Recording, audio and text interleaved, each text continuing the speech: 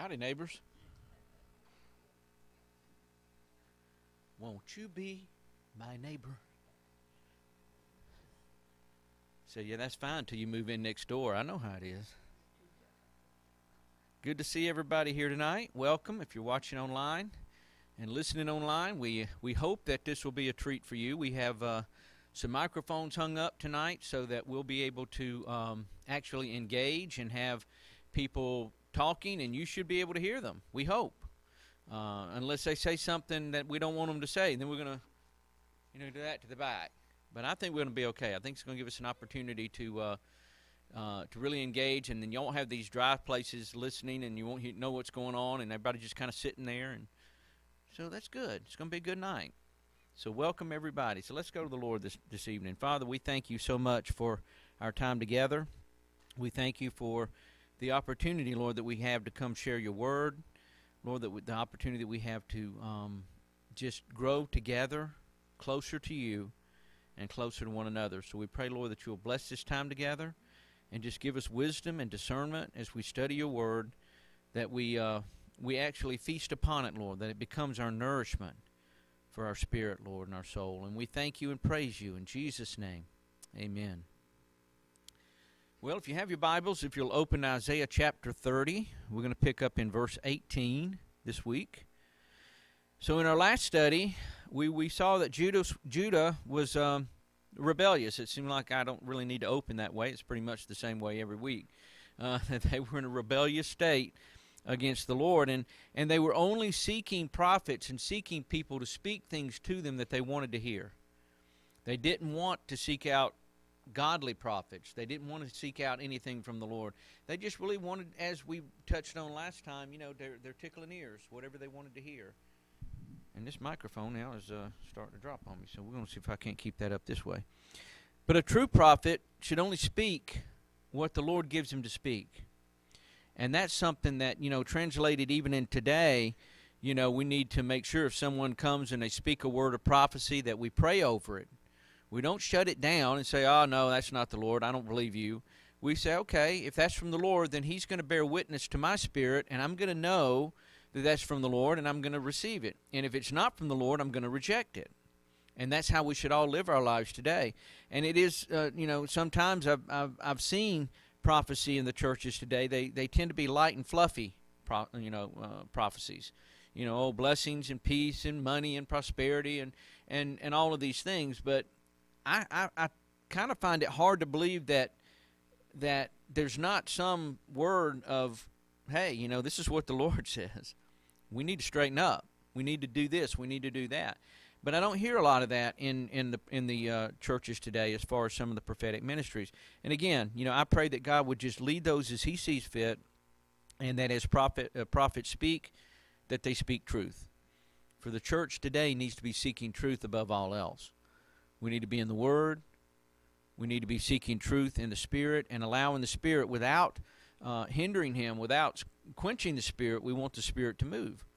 And so we open we open that and we say, Lord, move the way you want to. It's your church.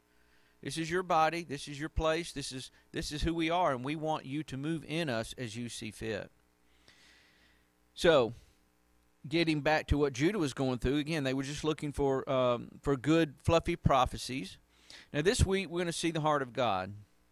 The wonderful thing that we can see consistently as God deals with Israel and deals with Judah throughout the book of Isaiah and Jeremiah as well, and other prophetic books. As you go through the books, you see how God does speak harsh judgment, but He also shows His mercy. God is a merciful God, and He wants to show mercy. He desires to show mercy to His people, but He knows the heart of the people too. And one thing about a God who knows all, we can't come and fool Him. We can't come and say, "Hey, you know, we're we're we're, we're repenting. We're going to be good now from now on." And God said, "Yeah, I, have heard that one before. You know, what was it yesterday?" And so we have to come and we say, "Okay, well, Lord, then we want to be purified. We want to be holy before you because you say, "Be holy, for I am holy." We know that it's your holiness. We know it's your righteousness that pours into us. We know that because of that, we now have all we need to walk in holiness it really comes down to the choices that we make moment by moment and day by day. Are we going to walk in obedience or are we going to walk in rebellion?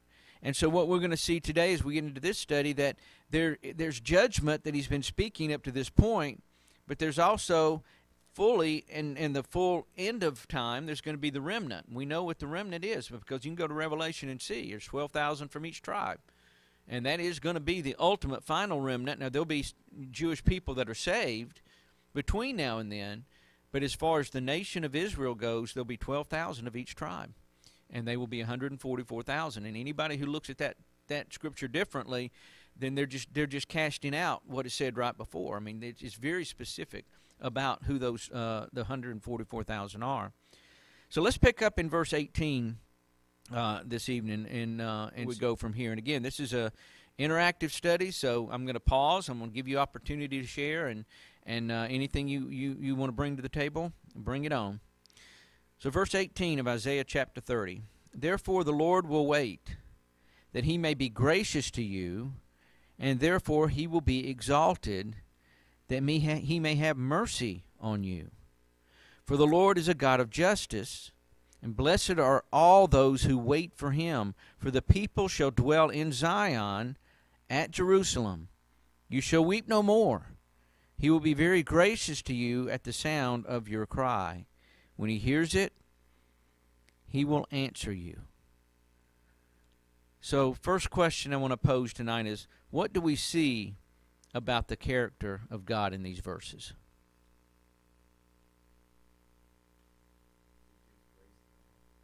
He gives grace to the humble. Absolutely. Anything else?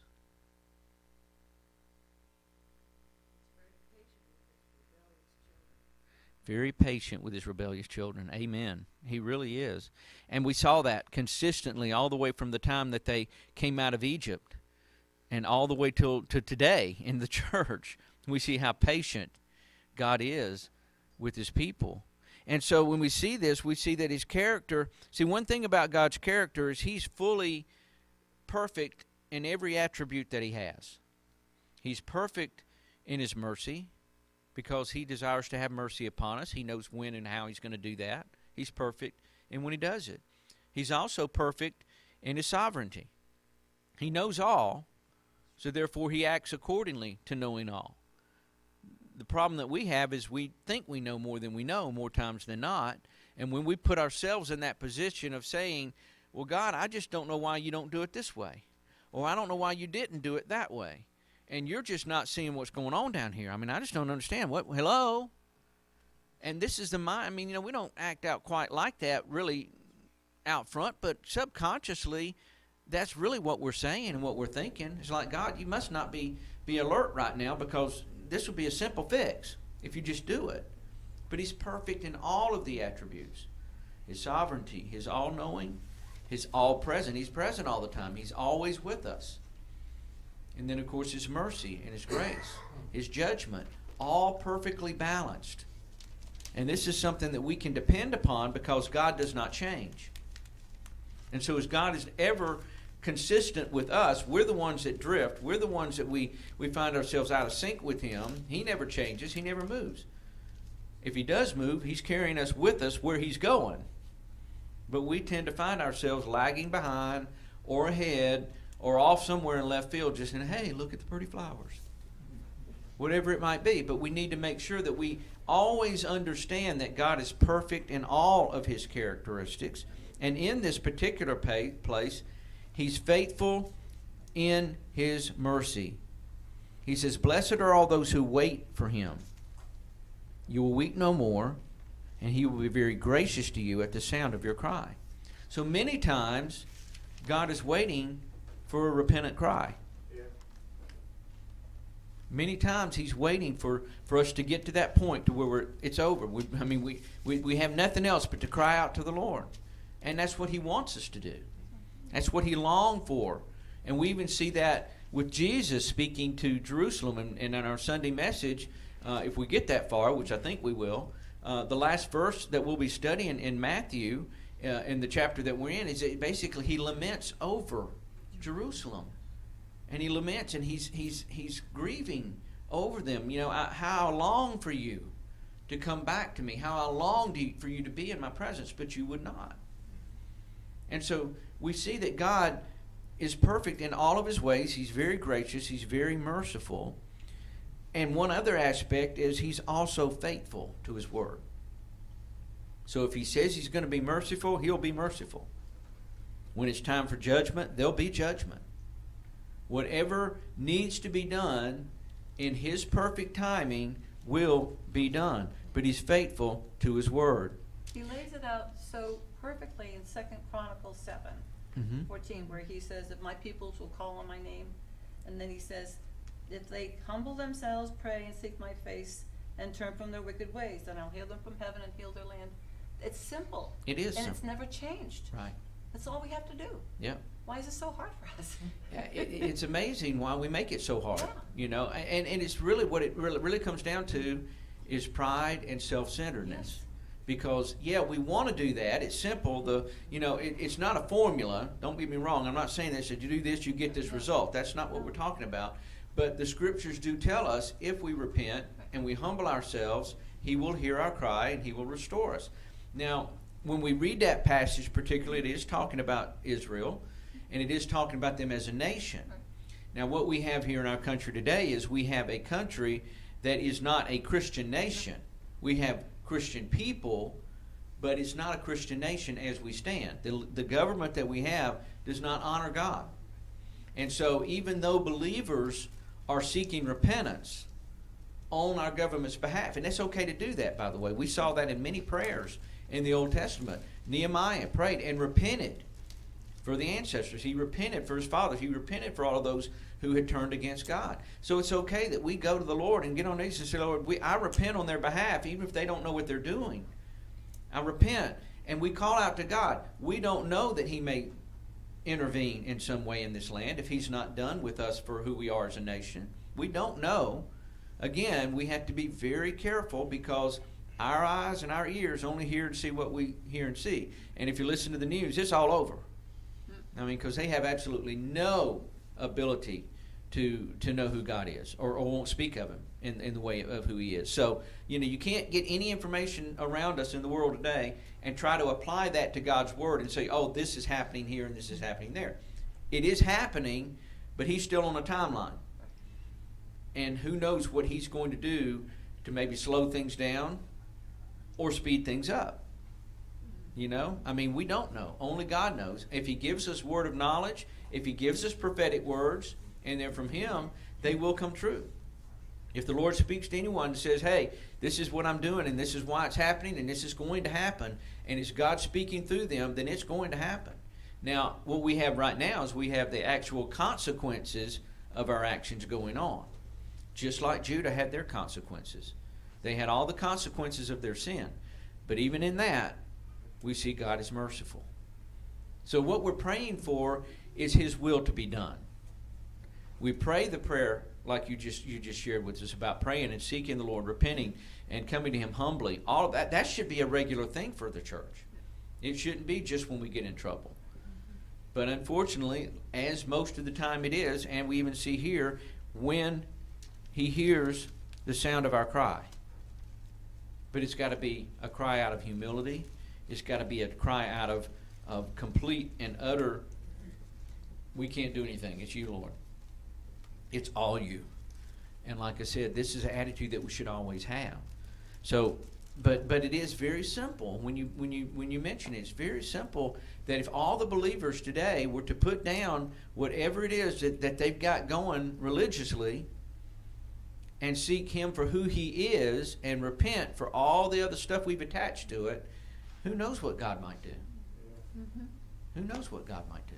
And it could be a wonderful thing in the moment. Yes. So, so, uh, um, Pastor, the, uh, um, I was sharing with Debbie today about something I was reading today about, uh, the passage that goes, uh, uh, many are called, but you are, you are chosen.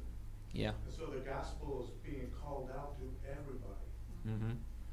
But if you ignore it and you use to allow distractions and stuff get in your way, you're, you're one of the few chosen. Yeah. you know, and I thought that was so awesome And you you wrote that song, hear my cry. Mm-hmm. And I think Yeah. what, what you're saying about the cry and stuff kinda goes along with the song you wrote. Yeah. And that's and that's that and that song is specifically out of scripture. Yeah. It's it's it's a specific it's a scripture song, and and so this is the heart that we should have, and we sh- and that's another way of praying is through the scriptures. Pray the scriptures, particularly the Psalms, particularly in different places. If God gives it to you, pray it and pray it out loud. God loves to hear His word quoted, and prayer and put in prayers. Why? Because it's a perfect word. We sometimes want to try to rewrite it, but if it's already well written, let's go with it. let's take it as it is and go with it and go from there. So we see God, He's perfect in His character, in His mercy, and His grace, and He's faithful to His word. Now, Revelation 7 16 through 17 kind of gives us a picture, too, of, of, of, of this picture coming to the fullness of. In Revelation 7 16 uh, through 17, they shall neither hunger any more, nor thirst any more. The sun shall not strike them, nor any heat. For the Lamb who is in the midst of the throne will shepherd them and lead them to living fountains of waters, and God will wipe, wipe away every tear from their eyes. Now, this is a promise. This is a, a this, if you want to be into prosperity, this is a prosperity you want. This is what we are going to have when we're with Jesus. This is what Judah, the, the remnant of Judah and Israel, are going to have when they're when they're with Jesus. It's going to be a beautiful place where there's not going to be any of these things that are coming at us here. You know, you go outside and you walk out, your glasses fog up because you can't see nothing because you've been in air conditioning all day.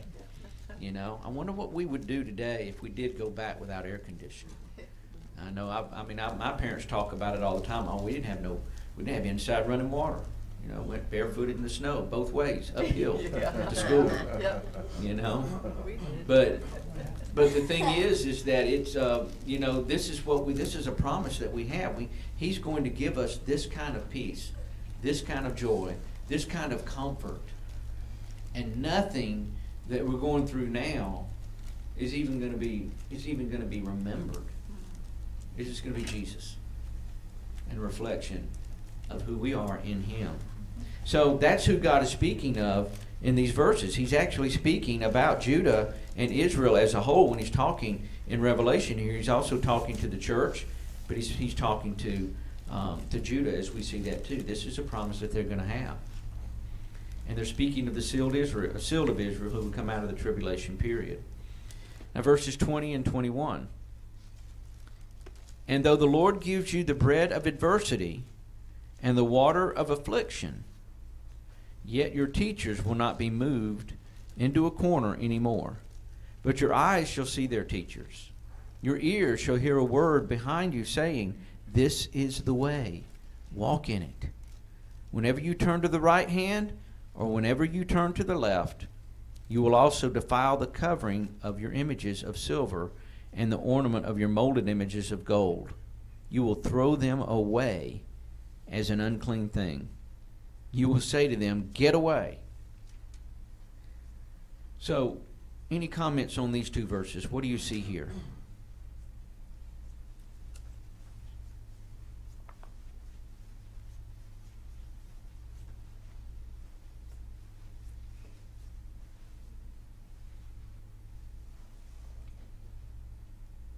I'm just having a little difficulty on the first blush to understand what Isaiah is referring to as your teachers.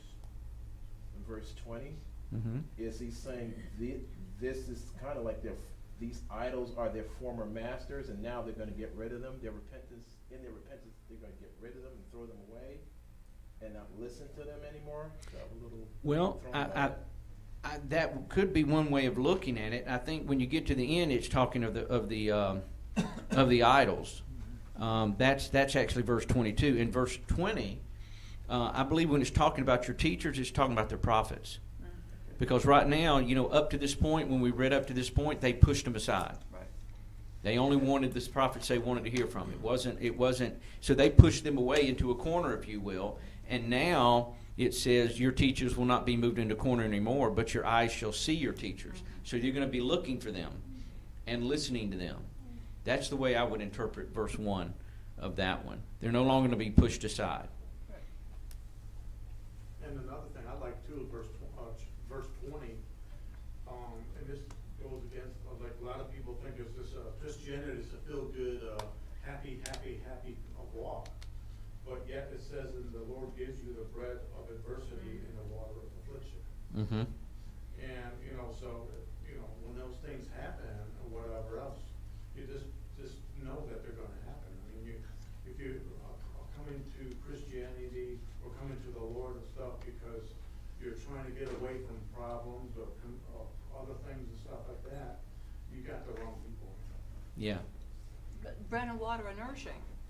So we who are here tonight have been through adversity and we've learned through it, we've grown through it. Grown through it. And that's, that's I think what he's calling us to do, it's gonna, it's gonna come to you.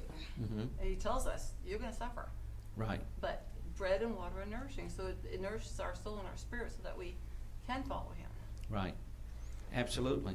So, so we see that God uses adversity and affliction, and He uses it to bring people back to Him. Over and over and over, when when Israel would turn from God, He brought affliction to them. They went into bondage, and then when they would cry out after the time was done and His time was up, He would hear their cry and He would bring them out of that bondage. But He uses that to bring people back to Him. Um, now, and it, and it's, it is interesting because again, you know, as Norman was saying, and you know, this specifically says, though the Lord gives you the bread of adversity and the water of affliction. Again, there are some today that say only Satan can bring any affliction on you. Mm-hmm. Well, that's not what the word says. The Bible says specifically God can and does bring affliction, mm-hmm. but it's for His purpose. It's not to harm us. The difference between what Satan brings at us and what God brings upon us is Satan is to destroy us, to kill, steal, and destroy. God's purpose is to get us through it, that we die to our flesh, and then we live to Him, and then we grow and we become more and more like Him. And that's pretty much what um, what this is talking about here. So there are times when God will bring that upon us. I mean, again, you know, you can even go back to Job, and that's a big discussion. It was Satan that did it. Okay, we all know it was Satan who did it, but he had to ask God's permission. And who even brought Job up to, to Satan? Have you considered Job? God says. So you, you got to look at this in the in the full context of what we're talking about. Again, but God is perfect in all of His ways. If He allows something, if He brings something, it's going to be for our good if we're trying, if we're seeking Him, if we're desiring Him, and we can grow we, we grow closer to Him through that. Yes. Is verse twenty-one the Holy Spirit? Would that be like the, the precursor to the Holy Spirit? That's, speaking to your ear, that's instructing you in the way? I think for us today, it, definitely, it definitely can be the Holy Spirit. You know, the Word itself could be uh, be what it's talking about. In their day, I believe it was still. I think that's still grouped in with the prophets because they will hear a voice of the prophet, hearing them. They're looking for them. They're seeing them. They're no longer tucked away in the corner.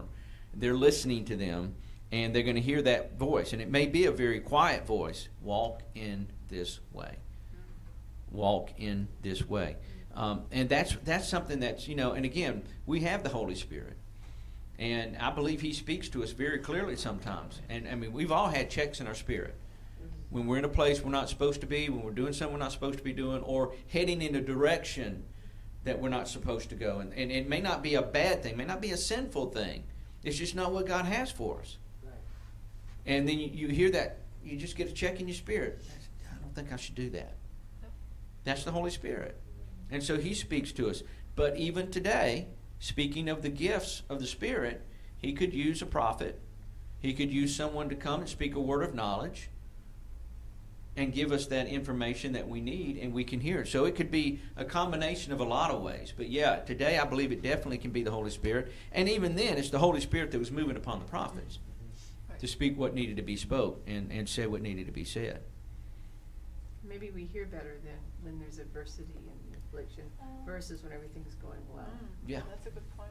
That is a very good point. Yeah, like all Yeah. these, uh, candlelight vigils, after these tragedies that have happened, where even little children have been gunned down. Mm. Mhm. Yeah. Mhm. Yeah. It's it's hard. I mean, the world we live in is hard. It's a very very difficult upside down world that we live in. And we are dependent upon God in everything. which the food, the clothing, the work, the finances, the health, all of that is in God's hands. I mean, Jesus spoke it very clearly. Why do you worry about what you'll wear, what you're going to eat? Do you not know that God, if He takes care of the sparrow, He's going to take care of you? He's got his, He knows every hair on your head. Some of us He doesn't have to count as many as others. Just looking around. I'm one of them. But this is this is all part of the relationship that we have. See, and that's the wonderful thing about who we are in Christ today. It's not about religion. It is about relationship. And relationship means it's a two-way thing. We're communicating with God, and He's communicating with us. Primarily through His Word, through His Spirit, and sometimes He will use affliction. Sometimes He will give us that bread of adversity and the water of affliction. Any other thoughts on this?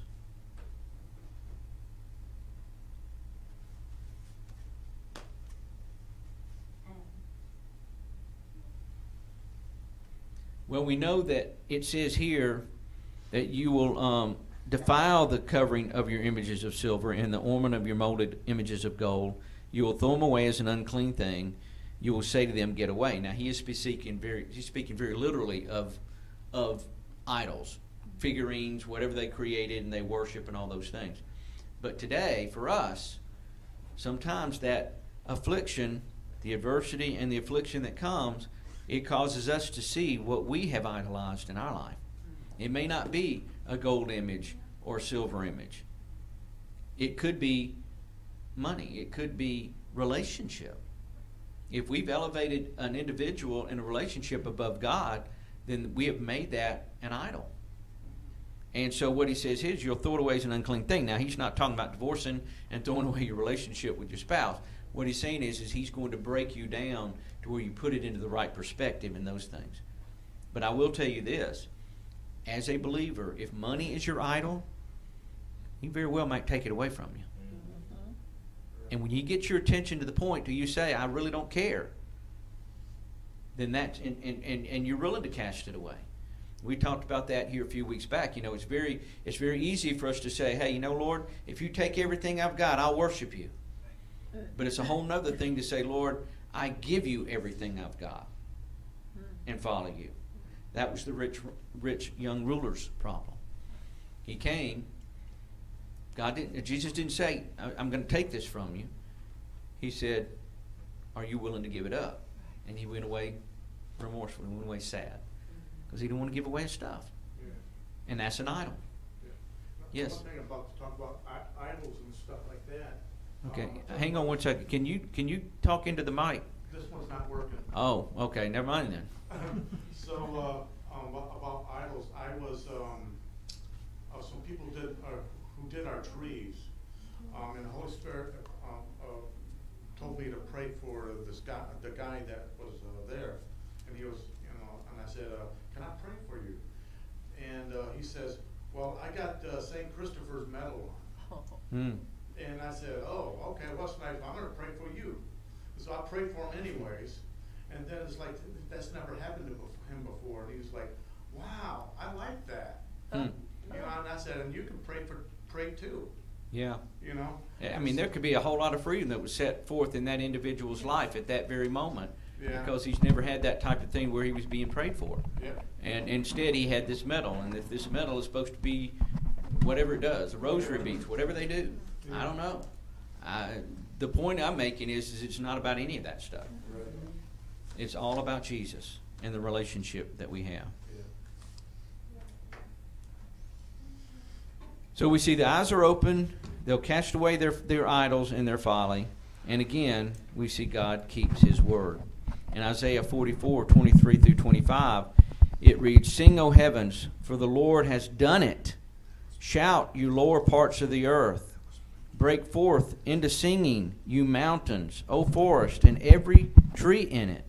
For the Lord has redeemed Jacob and glorified himself in Israel. And I love the way it says that. Sing, O heavens, for the Lord has done it. Now, does that really transfer into our minds today? when we receive Jesus Christ as our Lord and Savior and we turn our hearts and minds over our lives over to him, it's a done deal. Yeah, we have to go through the challenges of this world. We have to go through the fleshly situation that we're in, this tent, and all the things that come along with it. But it is done. And Jesus said, Abide in me as I abide in you. And if we abide in him, it's done. It's a done deal. And this is so encouraging that we can take this today and, and understand that our relationship with God it's it's done. It, it's not done in the spirit realm. Well, excuse me. It's not. It is done in the spirit realm. It's not done in the fleshly realm yet, and we still got to go through the stuff. But when we plow through this, this short little period of life that we're here, and it literally is a tiny, not even a measurable drop in a bucket in comparison to eternity. I, guess I struggle so much with why do we hang on? Why do, why do we think so much about not wanting to die? Now, I'm not saying we should all be morbid and say, okay, I want to die now, Lord, take me now. It's not what I'm saying. But when we do have situations in our life, and we have illnesses, and we have things that do continue to, to develop and get worse, why do we not look at that as a joyous thing? As a believer, now I'm not talking about non-believers. Non-believers, they have nothing to look forward to. But as a believer, we're one step closer to seeing Jesus face to face. Now, I know that doesn't, when you're in the midst of an emotional situation going through a loss, I know that's real. Not ever trying to take that away because every person applies himself or however it happens within that person, their makeup of the, of the person, they're gonna, their emotions are going to be shown in different ways. Some more intently than others, some not as much.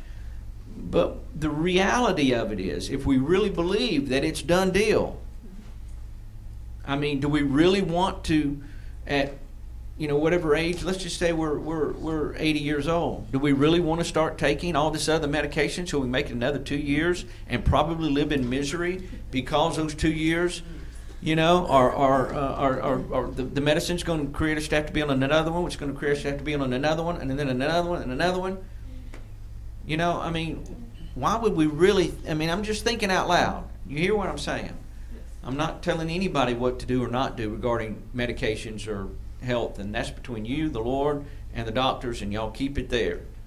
Now I'll pray for you any way you want me to. But the reality is, is that we know that we are that close.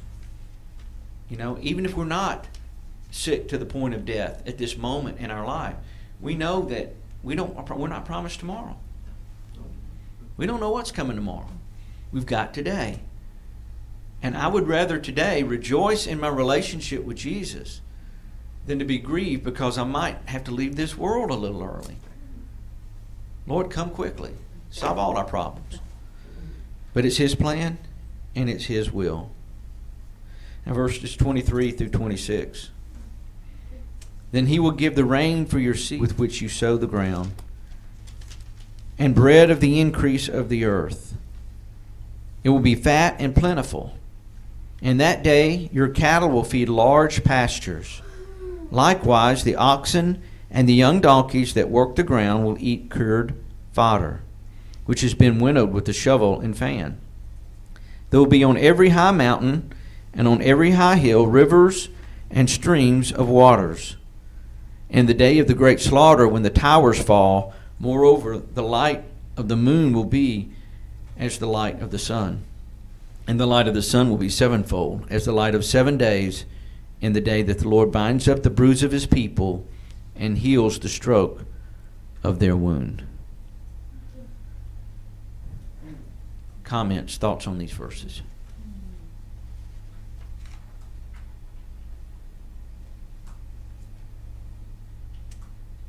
I see this as something yet, it, it, it has partially happened to Israel when they were returned, after their punishment, they were returned to the land. Mm-hmm.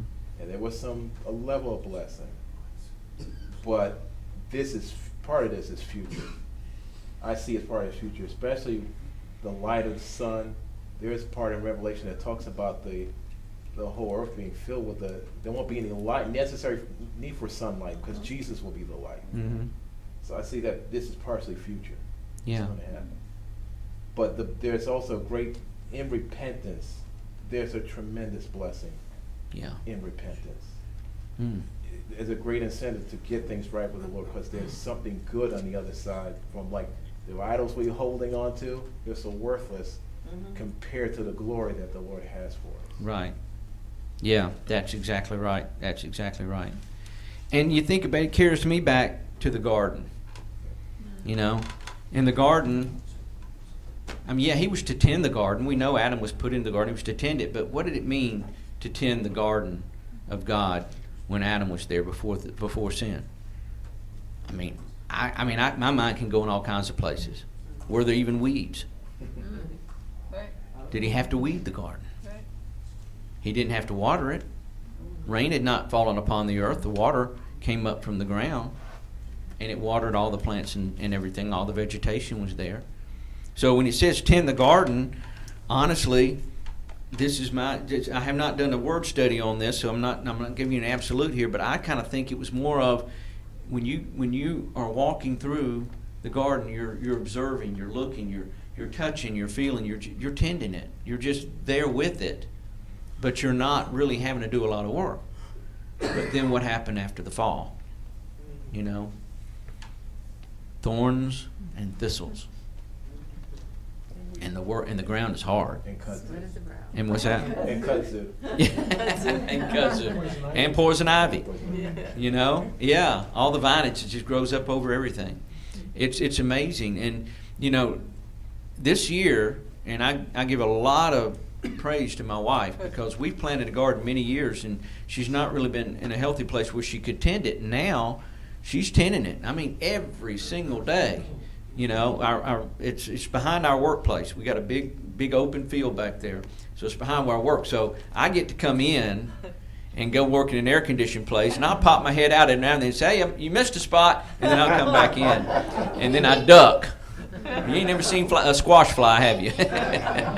it's fast. But she's been out there and she tends it, but it's you know it's work. It's a lot of work.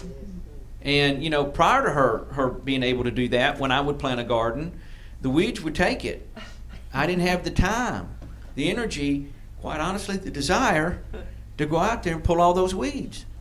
And this is the prettiest garden I've ever seen. It just looks nice and it's coming along and, and, and it's been tended to. All of these things where I'm do, but it's work.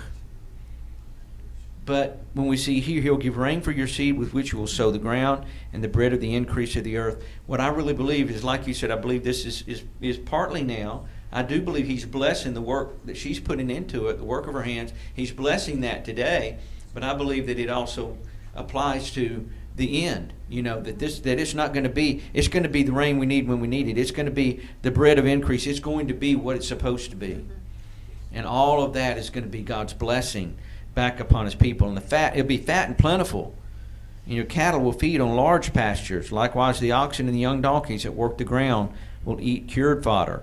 I don't know what uncured fodder is. I don't really want to know. Um, but again, it'll be uh, on every high mountain and every hill, the rivers and streams, and He will provide the water. He'll provide everything, and that's and again, this puts us right back up into Revelation in the end, in that, the last chapters there, where it talks about the the ever stream of, of water and the trees. I mean, you know, this is. I mean, I honestly don't understand everything about the trees, and we had. I think we had a discussion about this not too long ago about the fruit because it produces monthly. And, and okay, is it you know does every tree? I think there's 12 trees. I can't remember all the details. I believe there's like 12 trees there. Do they produce the same fruit? Is it all different fruit? I mean, but it's going to be consistent, and and it's going to be there. And it's just again those streams. What I really like is the streams of water that are just flowing. And see, today we have the Holy Spirit, which is often referred to as the living water that flows through us, and it's like a never-ending stream. You know, the only time you can cut off the stream of the Lord is when we turn the faucet off and we quench it. You've seen the water hoses, and they're doing real well, and all of a sudden you pull it, and can't get in it. You, well, we can do that too spiritually. We can have our hoses quenched. I mean, quenched, and we can just not let the the water flow because we are in a place to where we're not wanting to receive it. Mm-hmm. We're back in the flesh again. Mm-hmm. we're back in that place. And so, um, so what God wants us to do is to keep in a place where that water of the Holy Spirit is flowing through us consistently. And think about it this way too: if He's flowing through us consistently, it's not only going to flow into us; it's going to flow out of us, and then we will be effective as the brothers and sisters in the Lord were supposed to be, because it's His water flowing through us, not our flesh getting in the way of it. Because the flesh can turn off a spigot in a heartbeat. Yeah. Yeah. One thing I was thinking, thinking about the, uh, uh, about the living water uh, compared to the, the dead water or the not moving water. Mm. When you don't have, uh, uh, flowing water, which is the living water, when it's not flowing, that's when it starts collecting all the bacteria and everything else is not good. Yeah. And so when you don't have that living water flowing through you, you're, you're basically dead. Yeah, it's stagnant. Yeah. Yeah, exactly. And I can tell you from experience by hiking on the trails up in North Georgia and on the, up, well on the Appalachian Trail all the way up to Virginia. When you go through there on a good rainy season, when it's been raining a lot, you have all kinds of flowing water you can pull from. Now you still have to filter it. Definitely wouldn't recommend you not. But then you get in those drier spells and there's pools of water, and you see all those little mosquito buggy things floating, you know, floating in it, and- and it's murky, and you can filter it, but you can tell the difference. I had a water bottle that I'd had to throw out because I had used it one time in a, in one of those pools, and it left an odor in that bottle even after we filtered. And we have the charcoal filters that you're pumping it with, and it's going through, and it was clean enough to drink, but I sure didn't want to. I had to at times because all we had. The driest driest times up there, the water just didn't flow in. Yeah. So you have to be careful where you go and plan ahead and all that kind of stuff. But, uh, but when it's flowing water, it's cold, and there's nothing like walking along and taking your pack off and sticking your head in water that's flowing down out of the side of a mountain. I mean, that's, that's, uh, I wish I had it right now. I don't wanna have a pack on my back and I don't wanna be in the mountains, but I wish I had that water flowing. But I do have the spirit, and we do too. And only we can quench that. Nobody can take it from us, nobody can turn off our spigot. We're the only ones that can, cannot do, uh, what we're supposed to do by being open and let the Spirit flow. Any other thoughts on these verses?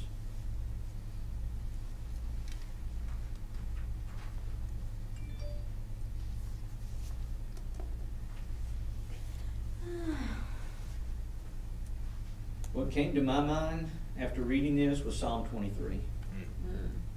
Psalm twenty-three just kind of came to me as I was reading these verses. Because what it really gives us is twofold. It gives us the fact that He is our shepherd now. The Lord is my shepherd. Doesn't say He's going to be my shepherd. He is my shepherd. I shall not want. And that tells us and puts us back into the perspective of what we're talking about here. When we're walking in with the Lord in relationship, He is our shepherd. We are not lacking anything. We're not lacking anything. We may not have everything we want, but we're not lacking anything. And it says He makes us to lie down in green pastures. Lying down in green pastures, and you know, going back to the verses we just read, you know, the, the, the, the animals will feed on, on green, full pastures, many large pastures. And I believe that we also, He puts us in these places where it's plentiful. It's not more than we need. And this is consistent. If you really look at God's consistency, He never gave Israel more than they needed. I dropped and I didn't even say it. And y'all didn't say a word either. I see how it is. Um, he, he gave them what they needed the manna from heaven. One day supply up until the Sabbath. Then they got a two day supply. And if they ever hoarded it away, the flies and maggots, it turned rotted, ugly. And he told them, don't do it. And so they would only collect what they needed. He gives them what they need. He leads them beside still waters. Now, when we're talking about still waters, they're still flowing. They're still a flowing. It may not be rapids, but it's still flowing. There's a couple of places on the Etowah I cross over the bridge, and every time I cross it, I said, "Man, I'd love to go fish that spot," because it's it's flowing, but it's really calm, and and green and, and rich, unless it's rained and it's muddy. But uh, or if they let out the water from the dam, it fills up and it gets kind of cloudy. But when it settles down, it's just real calm and clean and, and really neat. It's still waters. He restores our soul. He leads us in the paths of righteousness for His name's sake. He's leading us along. He's taking us moment by moment, day by day, in the path of righteousness. Everything we're reading in, in Isaiah here and what he's the mercy that he's given them, we can see that he's giving us. And through this psalm, he's doing it even as we speak. Yea, though I walk through the valley of the shadow of death, I will fear no evil. Again, goes back to what we're just talking about. You know, if we have uh, areas in our life or things that, you know, health wise that we're worried about, we don't have to fear death. We don't have to fear evil. We don't have to fear anything. Because honestly, death as a believer is just a shadow. And we talked about the shadow before when Israel went to Egypt for their help. It was a shadow of, of help. They didn't do anything, they couldn't do anything. Well, the shadow of death can't do anything either. If it takes us from this body, we're present with the Lord. Amen. Hallelujah. We will fear no evil, for you are with me. God is with us. His rod and staff, they comfort us. And he prepares a table before us in the presence of our enemies. Now that's encouraging too. Because Jesus told us, you know, pray for your enemies. And he'll anoint, I mean, he will put like uh, uh, fire on their head, you know, uh, heat fire, uh, coals of fire upon their head. And so when you think about this, he's preparing a table for us in front of our enemies. When we are walking in relationship with Jesus in front of our enemies, is preparing a table. He's preparing us to be with him, walking with him. And I can tell you that people see it. They see it. People are watching all the time. And he's preparing this table in the presence of the enemies. He anoints our head with oil. And I could just, I, I mean, I just picture this oil just, just running off our head, you know, the Holy Spirit, the oil. This, it's just a wonderful, wonderful uh, picture in my mind. Our cup runs over, and that goes back to what we were talking about a while ago. When the Spirit is flowing, it flows out of us, it, it spills out. We can't contain everything that God has for us, everything the Holy Spirit has for us. We can't contain it. These bodies, these minds, we can't even comprehend it. But He continues to pour in, even that of which we can't. We just we, we, we grab what we can, and the other flows off, and, and it flows out of us to other people. And they also are touched by the cup that runs over out of our lives. And surely good and mer- goodness and mercy, they will follow us all the days of our life. Goodness and mercy. And what is the primary thing we've been talking about with, with Judah is mercy. God is merciful. And he's merciful to us. He's already expressed his mercy by sending Jesus Christ. That was the ultimate merciful gift he could give to us was, the, was his son. And Jesus going to that cross, the mercy he gave us, he took upon out upon his own son. And we will dwell in the house of the Lord forever. That's going to be fun. That's going to be fun. We'll be looking each other up. You know, I don't know how it's going to look. I mean, you know, again, we've been taught ever since kids mansions and you know, and Jesus he said, "I go and prepare a place for you." If it wasn't so, he wouldn't have told us. So he's preparing a place. Mm-hmm. I hope mine's a little log cabin overlooking heaven's mountains. But whatever he has, I'm going to be more than content with and satisfied with and overflowing with joy with because he's doing the providing. And we won't have any more of this stuff that hovers around us. You know, I was talking to a friend of mine, a guy I actually hike with. We were talking on the phone today. We've we've been talking about another hiking trip. Believe me, it's all talk right now. Because uh, he's working a lot more, and, and, and he told me, he said, this is going to really make your day. He said, because I don't know if I'm going to have time to go. And I was like, but um, but we were uh, we were talking about you know the hiking, and we were talking about uh, all, everything that comes along with it, the planning and everything. And I lost my complete train of thought. I don't know why I brought that up. so that's just part of the day. But uh, But heaven but cabin. the cabin, yeah, having the cabin. Well, there's no cabin up there. There are some nice shelters, but um, but anyway, if we go, we're going to be going, and we're going to be be doing, you know, pretty much what we always do: tent camping and going out and seeing all those things. But I know that anything that we see on these trails, God, God's got some so much better than we can ever imagine. So much better than we can ever imagine. And I'm just, I'm thankful. I hope we're all thankful because Jesus tells us, the Word tells us, you know, come to me with the praise and thanksgiving in your heart. Come to Him with the th- uh, praise and thanksgiving. Without those two things, it's all about us. It's all about us. But when we come with praise and thanksgiving, it's all about Him. Yes. And then He's free to do what we need and to work it all out. And I think I just remember what I was going to tell you. We were talking about, you know, you know, the reason that we struggle so much in this life is because we're never in control. Mm. And he brought up, you know, why do babies cry so much? They got it made. I said, well, they cry because they're not in control. They're completely dependent about somebody to feed them, change them, wash them, and the whole thing, and hold them and rock them, and, and they're unhappy when they're not getting what they want. Then you get older and you go to school, and then school controls you. You got everybody telling you you can't do this, you can't do that, got to do this, got to do this, got to study math, algebra. I don't have any of that, you know, but you got to do it. Then you get into college, same thing, it's standing up. Then you get a job, now your boss is controlling you. You get married, well, then your wife is controlling, or your husband is controlling. You have no control. And then when you get older, what happens? You're basically going back to the baby stage, except somebody's having to take care of you again, changing, clean you up, do the whole thing. There, you, no wonder we're miserable people if you look at life the way it is. We're never in control. This is why it's so important that we understand that God is in control. And when we're dependent upon Him, it doesn't matter what phase of life we're in. He's in control, He's got it, and He's going to take us where He wants us to go. And we need to learn to be content under His control. Because any other place, we're out of control, no matter what.